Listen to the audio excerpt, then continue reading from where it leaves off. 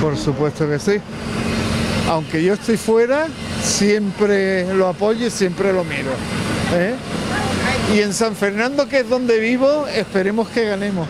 No me gusta el fútbol, pero yo apoyo a todo, ya está. Lo apoyo. Por supuesto, claro que sí. ¿Y va a ir al campo a verlo cuando juegue? Claro, queremos. Juegue. Ahora mismo estamos de vacaciones aquí en Ceuta. Estamos una semanita y la verdad que no, no podemos tener el gusto de disfrutar de, de la Asociación Deportiva Ceuta. Pues la verdad es que no sigo mucho el fútbol. O sea que no creo que vaya a ver los partidos, pero bueno, si hay algo importante, pues supongo que sí. Pues yo sinceramente no soy muy de fútbol, pero le deseo mucho ánimo, mucha suerte al equipo y que le vaya muy bien los próximos partidos. Hay que animarlo y a todo lo que sea aquí para deporte de la ciudad hay que fomentarlo y más este año que ha subido para arriba, arriba a los caballos. Me has hecho una pregunta un poquito complicada y que no sabría responderte. Pero lo anima... Claro, antes que animar a otro equipo animamos a nuestro Ceuta, ¿no? Evidentemente.